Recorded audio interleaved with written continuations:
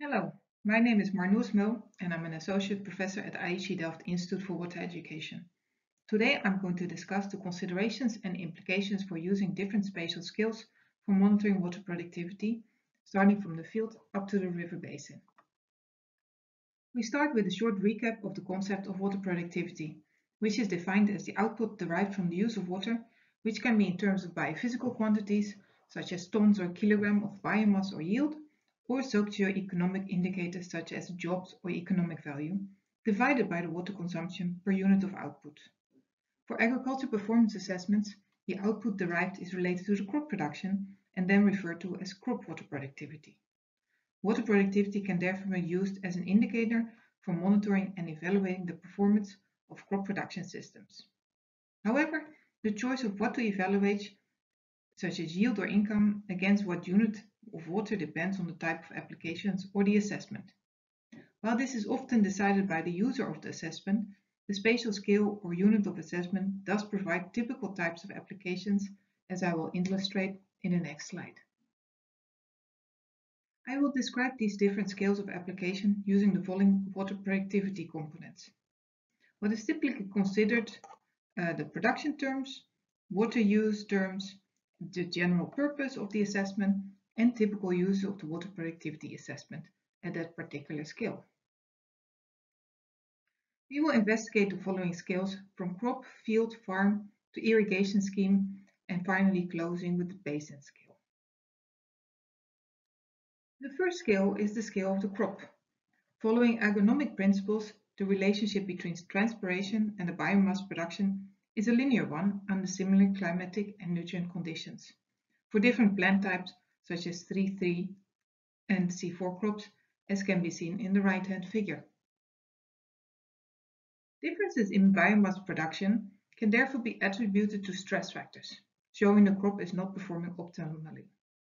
Differences in crop water productivity can also indicate stress factors that have affected the harvest index, considered the harvestable yield of a crop.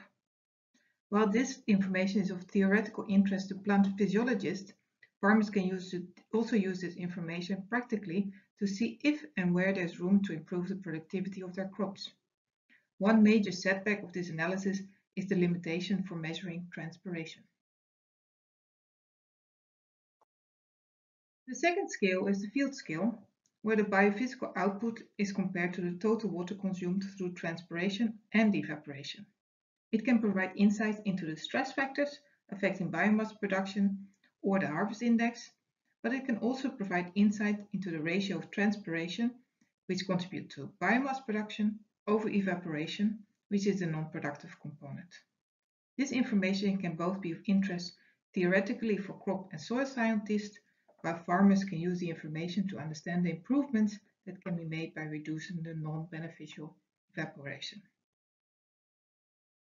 At the farm level, the produce in relation to water supplied or irrigation supply and its economic return are important to farmers as it directly influences farmers' decisions as their interest is to increase the harvestable yield or economic return of the water supplied.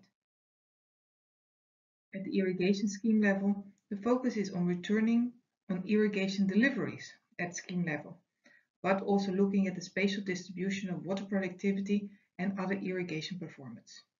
This is important for information for irrigation managers responsible for water distribution. And finally, at basin scale, where economic water productivity is a key element of the concept of integrated water resources management, which focuses on the economic return of water use, water productivity assessments can inform water allocation decisions, also in comparison to water use in other sectors. The Sustainable Development Goal 6.4 is also a global indicator for water use efficiency, uh, which evaluates water use efficiency of the different sectors into one indicator for river basin or national level monitoring. Now to the practical side of water productivity assessment and the sources of information typically used for these assessments. For the crop and field scale, data is generally obtained from field measurements, from harvest data for the production component to sap flow or flux towers estimate transpiration and evapotranspiration. Since this requires expensive data collection, crop growth models can be used for water productivity assessments as well. At a larger scale, from farm to irrigation scheme data for the production component can be obtained from field measurements, but increasingly satellite observations are used not only to provide aggregated product amounts, production amounts, but also to obtain spatial and temporal variations. For the water use components, the field observations from direct flow measurements are increasingly being replaced or more accurately complemented by satellite observations for the evapotranspiration or water use component. To conclude, water productivity assessments can provide relevant information for various types of stakeholders at different scales. While detailed assessments for crop, field, farm level require expensive and time-consuming datasets, remote sensing provides new opportunities for cheaper and quicker large-scale assessments. Thank you for your attention.